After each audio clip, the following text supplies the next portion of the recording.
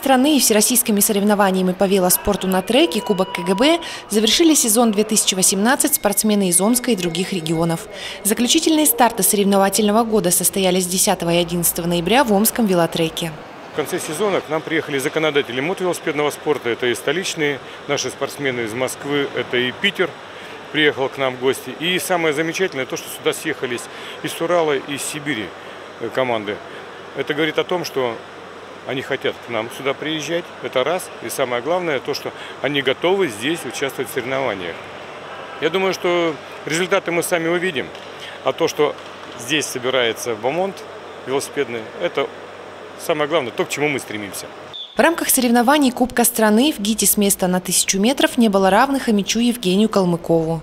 Сезон для нашего земляка сложился удачно, но, по словам гонщика, ему и есть над чем работать. Ну, очень сложно сегодня было, потому что мы... Э, последний старт был в сентябре, чемпионат России. И после этого старта мы взяли некий отдых, чтобы восстановить силы эмоционально, физически. И вот этот э, Кубок России будет такой основополагающей точкой на дальнейшие старты. Мы вот сейчас убедились, в какой я сейчас кондиции нахожусь.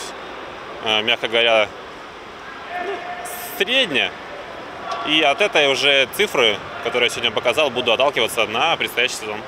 В отличие от Евгения, представителю Иркутска Владу Нечаеву трековые дисциплины не так хорошо знакомы. Спринтер-шоссейник в прошлом, сегодня Владислав пробует свои силы с перспективой на будущее.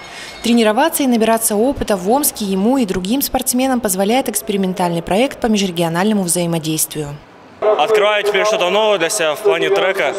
И вот то, что Омский, это наш а сибирский как бы Сибирь наша. И вот нас сюда отправили, мы тренируемся.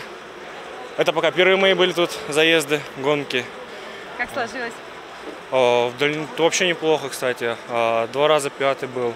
И сейчас еще финал будет. Не знаю. То есть в Омске вы сейчас не случайно, у вас какие-то планы здесь тренироваться, правильно я понимаю? Да, о, о, по возможности даже о, остаться в команде. Именно с, с мужским коллективом, что я уже в мужчинах катаюсь. Да, на дальнейшее планируем. Мы в будущий год предолимпийский постараемся все сделать и создать максимальные условия для наших спортсменов, для того, чтобы они все-таки попали на Олимпиаду и показали достойный результат для Омской области. 30 ноября в Омске состоится торжественное закрытие и подведение итогов велосезона с участием трехкратного олимпийского чемпиона, президента Всероссийской Федерации велоспорта Вячеслава Якимова.